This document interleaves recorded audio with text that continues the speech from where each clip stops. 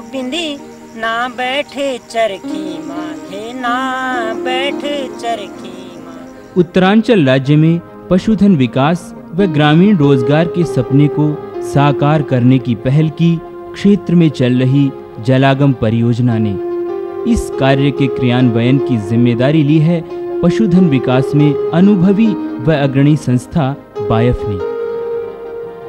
बायफ की परिकल्पना पद्मश्री डॉक्टर मणिभाई देसाई ने 60 के दशक में की थी। मणिभाई स्वतंत्रता संग्राम में गांधी जी के सहयोगी थे। गांधी जी पहली मुलाकात में मणिभाई जी की प्रतिभा से बहुत प्रभावित हुए। गांधी जी के कथनानुसार गाँव की खुशहाली में ही भारत की खुशहाली निहित है। It was my guess that he was looking for a young boy to join him with a definite mission. And accidentally I happened to be that young boy. And uh, he said, You join, I accept you. So he asked me a question. That question was very simple Do you know why India is poor? So I did not reply. I was given an indication from his senior colleagues that I should not be in a hurry to reply questions. This is his style of talking. And he will reply his own questions. And he started talking. He said, India is poor. Look, boy, India is poor because rural India is poor. Very simple reply.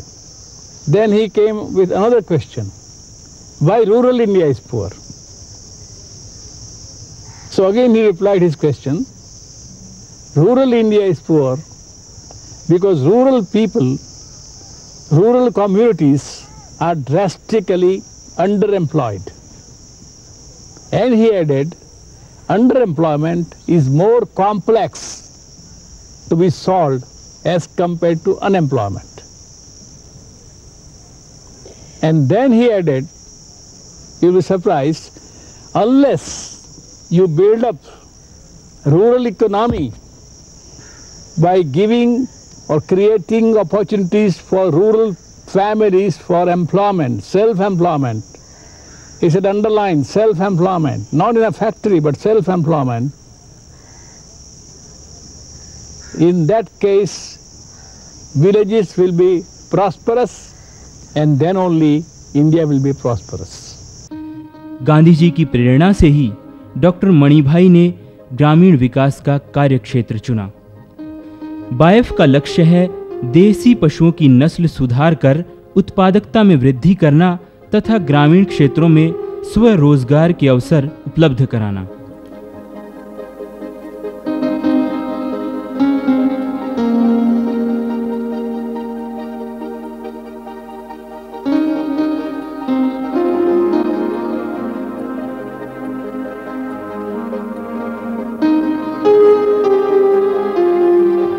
उन्नत नस्ल, अति हिमीकृत वीर्य के उत्पादन हेतु बायफ ने पुणे के निकट उरुली कांचन में पशु फार्म की सन 1967 में स्थापना की। बायफ ने स्थायित्व सतत विकास के उद्देश्य से उत्तरांचल में चल रही जलागम परियोजना के सहयोग से स्थानीय शिक्षित बेरोजगार नवयुवकों को सहभागी बनाते हुए पैरावेट कार्यक्रम की शुरुआत की। ये उत्तरांचल के पौड़ी जनपद में जलागम प्रबंध परियोजना और बैफ के संयुक्त संचालन से पैरावेट्स पशु विकास कार्यक्रम चलाया जा रहा है और जिसका मुख्य उद्देश्य है कि जिस क्षेत्र जिस क्षेत्र में कि अभी तक पशु नस्ल सुधार का कार्यक्रम नहीं हुआ है, उस क्षेत्र में इस कार्यक्रम को बढ़ावा दिया जाए और लोगों के बीच उस क्षेत्र में इस कार्यक्रम का परिचय कराया जाए। तो भौगोलिक स्थिति काफ़ी कठिन क्षेत्र होने के बाद भी यहाँ पे जो पशु नस्ल सुधार का कार्यक्रम है, लोगों के घर घर तक स्थानीय पैरावेट्स के द्वारा सुविधाएँ दी जा रही हैं और स्वरोजगार योजना से जोड़ते हुए इस कार्यक्रम को स्थानीय कार्यकर्ता को ही प्रशिक्षित करके उसे उस क्षेत्र में कार्य करने हेतु अधिकृत किया गया है। यह कार्यक्रम जलागम के क्रियान्वयन में पाइप के सहयोग से पाँच डिवीज़न में चल रहा है ऋषिकेश कोटद्वार लैंडकॉन हल्द्वानी और रामनगर। यहाँ से युवकों को चयनित कर क्षमता विकास हेतु चार महीने का औपचारिक प्रशिक्षण दिया गया, तथा उन्हीं के गाँव में उन्हें तैनात कर दिया गया। सर्वप्रथम हमने इस कार्यक्रम को प्रयास ये किया कि जो व्यक्ति जिस गाँव के हैं, जिस गरिमा से चयन किया गया है, उनके नज़दीक ही उनको सेंटर दिया जाए और उनका कार्य क्षेत्र वही रहे जिस गाँव में वो रहने वाले हैं, जिस सराउंडिंग एरिया में उनका जन्म हुआ है, वहाँ के पले बड़े हुए। तो उससे क्या होता है कि हमको प्रचार प्रसार में बहुत सारी जो बाहर के लोगों के साथ सुविधाएँ आती हैं, जैसे भाषा का है, लोकलिटी का है, वो नहीं आएगा। मैं पहले बी कॉम कंप्लीट करने के बाद घर में खाली घूम रहा था। उसके उपरांत मेरे, हमारे गाँव में जलागम परियोजना आई। हमारा संपर्क पशुधन प्रसार अधिकारी श्री शैलेश मिश्र जी से हुई, जिन्होंने हमें पशुपालन के क्षेत्र में कार्य करने के लिए अग्रसर किया। इसके बाद इन्होंने हमारा इंटरव्यू कोरदार यूनिट में लिया जहाँ पे हम काफ़ी लड़के थे शामिल जिनमें से हम चार लड़कों का सिलेक्शन जलागम परियोजना के लिए हुआ। उसके उपरांत हम इलाहाबाद में ट्रेनिंग के लिए भेज दिए गए प्रशिक्षण कार्यक्रम में युवकों को कृत्रिम गर्भाधान गर्भाधान निदान पशु प्रबंधन तथा स्वास्थ्य रक्षा से संबंधित तकनीकी प्रशिक्षण दिया गया। हमें इलाहाबाद में ट्रेनिंग के दौरान थ्योरिकल दो महीने थ्योरिकल पढ़ा हमने, उसके बाद दो महीने फ़ील्ड में रहे। तो थ्योरी के दौरान हम सुबह नौ बजे से हमारी क्लास शुरू होती थी, शाम के पाँच बजे तक चलती थी उसमें हमें प्राथमिक उपचार हो गया ई हो गया पीढ़ी हो गया कास्टेशन हो गया, और पशुपालन के बारे में मतलब पशु विकास केंद्र मतलब कैसे खोलना है, हमें प्रचार प्रसार कैसे करना है, इन चीज़ों के बारे में पूरी जानकारी दी गई तो मैंने उसके बाद फ़ील्ड में रहे हम तो फ़ील्ड में हमें सुबह छः बजे से हमें स्टार्ट करते देते काम आना, काम आता था।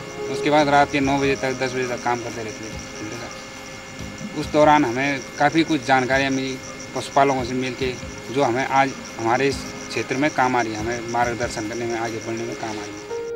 आज इस कार्यक्रम के प्रभाव से पशुपालक गर्म गाय एवं भैंस के कृत्रिम गर्भाधान हेतु, कृत्रिम गर्भाधान केंद्र से संपर्क स्थापित करते हैं। पैरावेट के बाहर गए होने पर एक सादे कागज़ में पूर्ण विवरण लिखकर केंद्र की पत्र पेटिका में डालते हैं और पशुपालक समय पर अपने द्वार पर कृत्रिम गर्भाधान की सेवा प्राप्त करता है।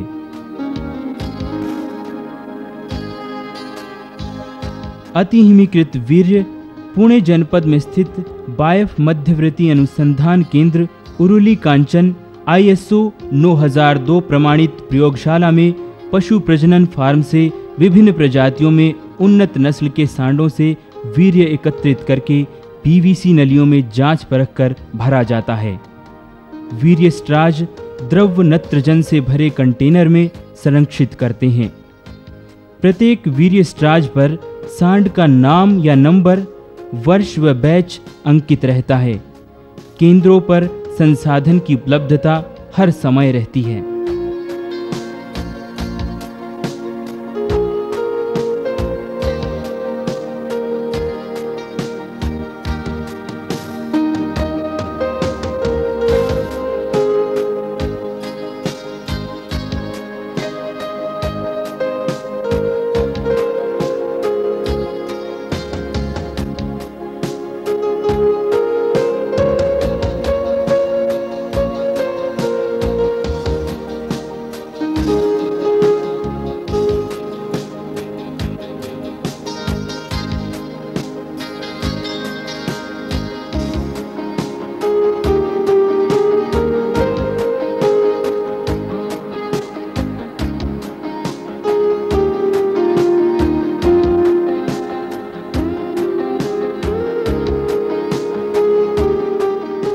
पैरावेट पशुपालक के द्वार पर पहुंचकर पशु के बारे में पूरी जानकारी लेता है। तदुपरांत गर्म हुए पशु को रस्सी से नियंत्रित करते हुए जननांग का परीक्षण करता है और कृत्रिम गर्भाधान हेतु तैयारी करता है।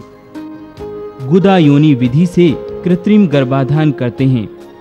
थाइंग अर्थात अति हिमीकृत वीर्य को द्रव में परिवर्तित करने के पूर्व एक पात्र में गौ वंशीय सांड के वीर्य के लिए 35 से 37 सेंटीग्रेड तापक्रम पर पानी तैयार करके चिमटी की सहायता से अति हिमीकृत वीर्य स्ट्रा को निकालकर इस पानी में 15 से 30 सेकंड रखते हैं, जिससे वीर्य द्रव रूप में आ जाता है।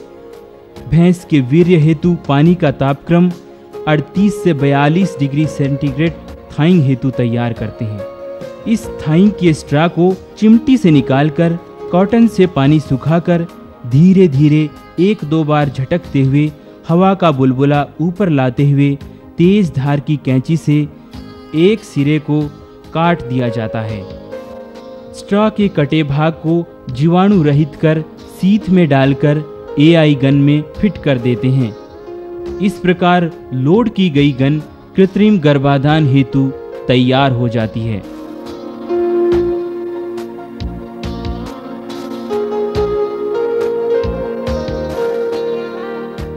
नियंत्रित गाय व भैंस में कार्यकर्ता हाथ पर साबुन लगाकर गुदा में डालकर योनि द्वार साफ़ करके एआई गन योनि मार्ग से होते हुए गर्भाशय ग्रीवा पर पहुंचाते हैं।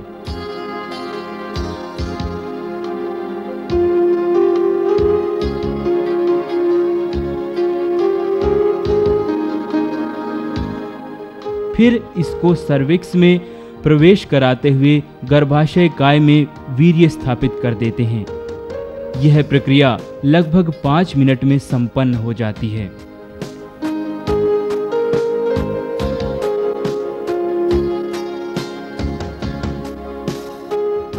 पैरावेट वीर्य में अंकित सांड का नाम व नंबर, बैच नंबर, अभिलेख में पूर्ण कर लेता है। पैरावेट प्रति गर्भाधान पचास रुपए लेता है और रसीद बनाकर किसान को दे देता है। इसमें जितना भी समूह है हमारे ग्रामवासी हमारे नव नवरोजगार युवक जो हैं वो सब साथी इसमें कार्यक्रम में जुड़े हैं। और इसी संस्था से जुड़कर हमारे बीच में हमारे साथ व्यवहार सदव्यवहार से काम करते हैं।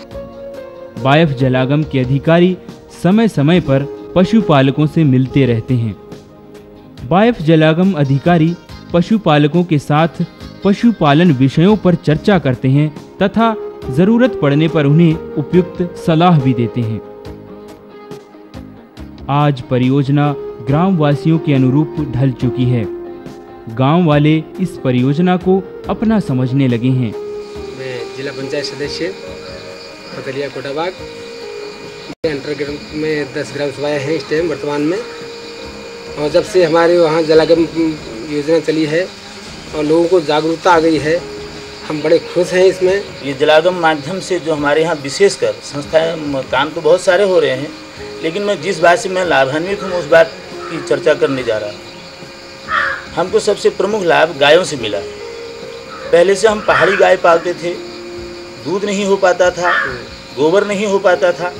लेकिन आज ये होता है कि उन पहाड़ी गायों के माध्यम से, ये बायफ के माध्यम से हमको एक अच्छी अच्छी नस्ल की गायें मिली हैं और खेतों के लिए अच्छा गोबर हम प्राप्त कर लेते हैं। वो किसी कृषि विविधीकरण के माध्यम से उन्होंने हमको ऐसे ऐसे साधन उपलब्ध कराए हैं और ऐसे ऐसे साधनों से अवगत कराया है कि हम घर में ही कंपोस्ट वगैरह तैयार कर लेते हैं। और तत्पश्चात एक विशेष बात यह है कि गायों का रख रखाव भी बाइफ के माध्यम से हमको अच्छा मिलता है। जैसे कि वैक्सीन वगैरह देना, दवाइयाँ देना मैगना मिक्सचर आदि ये जिससे कि जानवर हमारा तंदुरुस्त रहता है और अच्छा दूध मिलता है।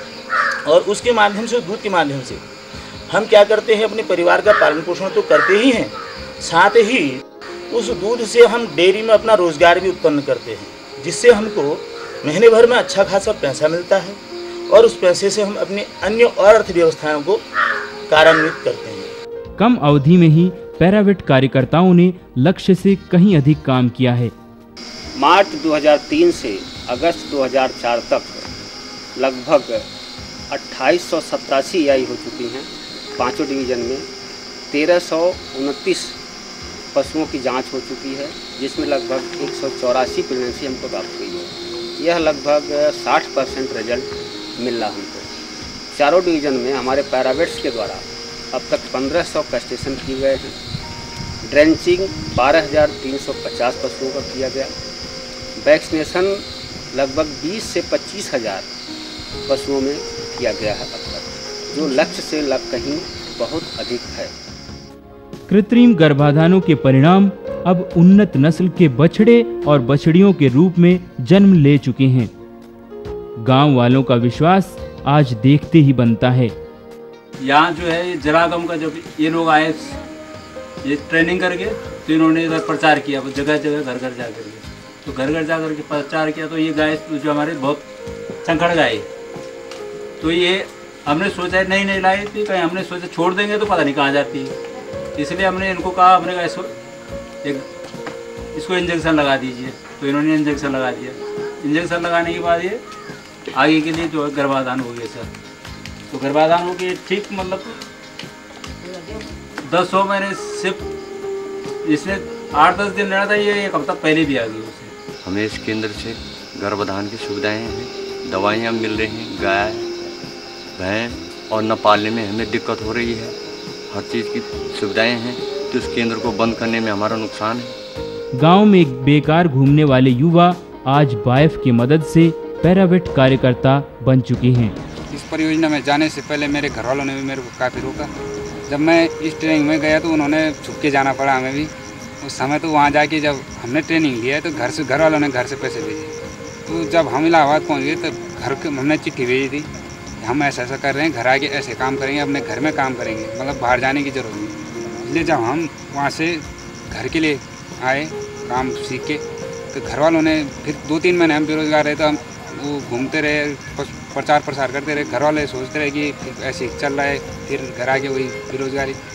तीन महीने बाद जब हमें सामान अपना पूरा इक्विपमेंट मिल गया, काम करने लगे हम तो उसके उपरांत घर वालों को अब संतुष्ट हैं कि हाँ काम कर रहा है कुछ अपना रोज, रोज़गार आगे बढ़ाएगा। इसमें उस पशु विकास केंद्र को स्थानीय जो गरिमा है ग्राम संसाधन समिति, उससे जोड़ा गया है, ताकि वो वर्तमान में जबकि जलागम द्वारा संचालित कार्यक्रम में वो अपने को इस गरिमा समिति में जो काम कर रहा है, उसका दस रुपया प्रति गर्भाधान, टीकाकरण पे दो रुपया और इसी प्रकार पशु उपचार का जो प्राथमिक उपचार है, उसमें दो रुपया वो गरिमा समिति में जमा कर रहा है, ताकि आने वाले समय में जब जलागम द्वारा इसको फंडन बंद हो जाएगा और जलागम प्रबंध परियोजना अपना कार्य क्षेत्र यहाँ से हटा लेगा तो उसको पुनर्जीवित करने के लिए और सतत वो केंद्र चलता रहे, रिवॉल्विंग फंड के रूप में गरिमा में ये पैसा जमा किया जा रहा है। भविष्य में ताकि गरिमा और अन्य सरकारी संस्थाओं के सहयोग से उस कार्यक्रम को सतत चलाया जा सके। और इसमें इस बात का भी ध्यान रखा गया है कि जो कार्यक्रम एक बार क्षेत्र में प्रारंभ कर दिया गया है, कि प्रयास हो कि वो फिर बंद ना हो सके जब तक इस क्षेत्र में उस कार्यक्रम की आवश्यकता बनी रहे। और स्थानीय कार्यकर्ता जो हैं, इसलिए उनकी यहाँ पर नियुक्ति की गई है ताकि वो अपने क्षेत्र में अपने ही लोगों के बीच इस कार्यक्रम को और अच्छे तरीके से और हर समय क्षेत्र की उपलब्धता को देखते हुए वो उनके बीच उपस्थित रहे। और हम ये चाहते हैं कि आगे भी इसी प्रकार ये संस्था हमारे साथियों को ही साथ लेकर के चलती रहे। वे युवक जो अब पैरावेट हैं गाँव वालों को पशुपालन संबंधी सेवाएँ उपलब्ध कराकर स्व रोज़गार से औसतन चार हज़ार रुपये प्रति माह अतिरिक्त आय अर्जित कर सुखमय जीवन व्यतीत करने लगे हैं तथा पशुपालन का भरपूर लाभ पा रहे हैं। जैसे हम लोगों को सेंटर मिले हुए हैं तब से पर मंथ पाँच हज़ार रुपये कमा लेते हैं जिसमें कि पर मंथ की बचत के हिसाब से हमने नई मोटरसाइकिल ले ली है। जलागम परियोजना पैराविट कार्यक्रम की सफलता को देखकर पैराविट कार्यकर्ताओं की नई नई तकनीकों की जानकारी और बढ़ाते रहने पर विचार कर रही है। जिससे कार्यक्रम का स्थायित्व बना रहे और बायफ जलागम कार्यक्रम गुणवत्ता पूर्वक ग्राम वासियों को संतुष्ट करता रहे। कि जो मैदानी क्षेत्र हैं, उसको तीन से चार साल में अगर डेवलपमेंट का कार्य किया जाए तो पैरावेट अपनी पैरों पर खड़ा होकर किसानों को सर्विसेज़ दे सकता है, जिसमें प्रजनन के साथ साथ में वैक्सीनेशन, डीवर्मिंग कैस्टेशन और प्राइमरी ट्रीटमेंट जैसे कार्य कर सकता है और कम से कम पाँच से दस हज़ार रुपये प्रति माह की आय भी अर्जित कर सकता है। परंतु प्रत्येक क्षेत्र में जहाँ लोगों को आने जाने की सुविधा कठिन है, कम है और पशुओं की उपलब्धता भी आठ से दस किलोमीटर के क्षेत्र में कम है, ऐसे में उनको पूर्ण कार्य नहीं मिलता और उनकी आय कम होती है तो उसकी सस्टेनेबिलिटी थोड़ी डाउटफुल हो जाती है। ऐसे ऐसे एरिया में, ऐसे क्षेत्र में, ऐसी परिस्थितियों में हम सोचते हैं कि पशुधन के साथ साथ में बाकी जो सेवाएँ किसानों को लगती हैं अपनी उत्पादकता बढ़ाने में, जैसा कि बागवानी के लिए अच्छी नर्सरी फर्टिलाइज़र्स वर्मी कंपोस्ट और पेस्टिसाइड्स वगैरह की आवश्यकता होती है, उसकी पूर्ति भी इनके द्वारा कराई जाए और उनको कुछ विपणन के लिए भी उपयोग किया जाए तो हम सोचते हैं कि ऐसे पैरावेट भी, ऐसे क्षेत्र में अपनी आजीविका भी कमा सकेंगे और किसानों को भी अच्छी इनपुट्स और अच्छे जो फर्टिलाइज़र और नर्सरी प्लांट्स मिलने हैं, वो भी उपलब्ध हो जाएँगे। और बायफ अब इस एक्सपेरिमेंट पर भी लगी है और मैं सोचता हूँ कि इसको जल्दी हम एक नया प्रयोजन करते हुए एक नई पद्धति का निर्माण करेंगे, जो कि ऐसे क्षेत्रों के लिए भी उपयोगी होगी। देवतों को भोग बिंदी देवतों को भोग देवतों को भोग बिंदी देवतों को भोग दुदिया शरीर त्यारो। क्या बोला ला लोग बिंदी? ना बैठे चरखी माँ, क्या बोला ला लोग बिंदी? ना बैठे चरखी माँ, हे ना बैठे चरखी माँ, हे ना बैठे चरखी माँ।